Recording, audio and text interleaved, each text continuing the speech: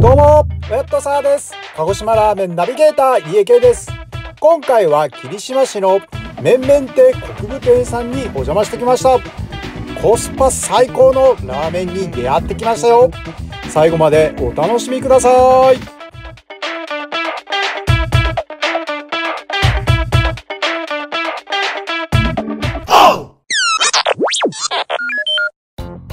霧島市は国分駅から車で4分くらいのとこにあります。麺々亭国分店さんにお邪魔してます。こちらが麺々亭国分店さんのメニュー。セットメニューもある中今回オーダーしたのはラーメンと鶏飯です。さあこちらが麺々亭さんのお漬物になります。シャキシャキ食感の美味しいお漬物を食べながらラーメンを待っていると鶏飯と一緒にチャーク丼です。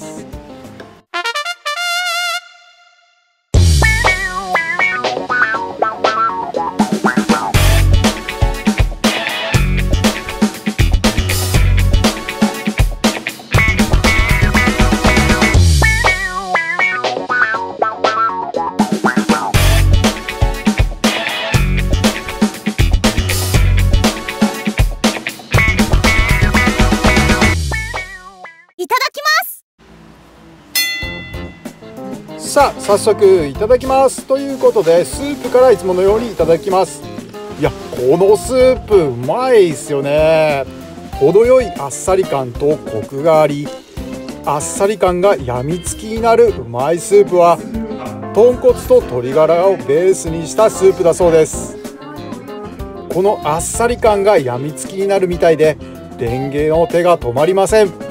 そんなスープからリフトアップして出てきた麺は中太ストレート麺でした。こちらの麺もコシがあり小麦の香りが良くて麺とスープがよく絡むうまい麺です。麺々亭さんはその昔鹿児島市内に何店舗か展開するフランチャイズだったそうで今はそのお店もなくこの国分店だけになったそうで今年で30年になるそうです。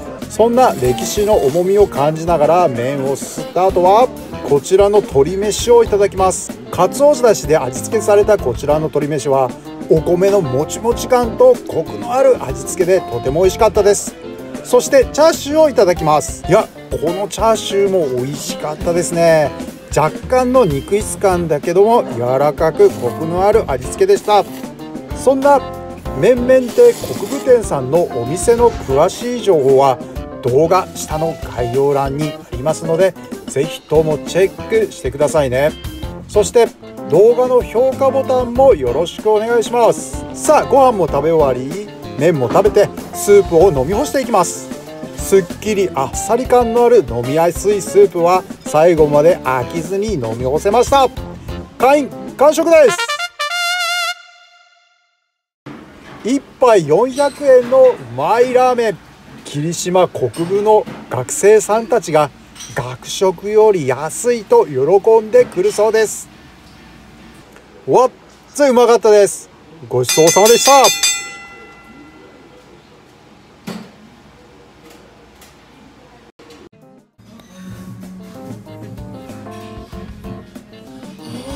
どうですか？